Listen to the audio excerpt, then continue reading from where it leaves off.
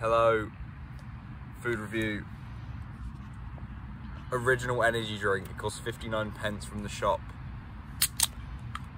The aroma smells like a cheap energy drink.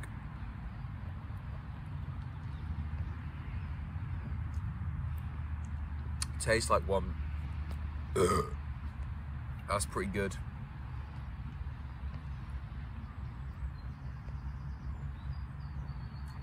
Has a good, nice mouth feel.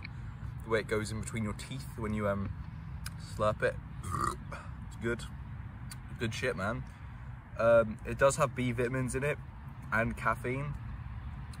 The can's 250 mils, and from all accounts, that's the serving size, so that's good. Uh, yeah. If you're in a pinch and need an energy drink, Euro Shopper produced this and it contains one serving and it's made in Belfast.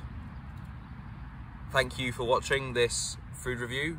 I've been Keith Spoon drinking the original energy drink, Euro Shopper edition, 59p, 250ml can. Uh, yeah,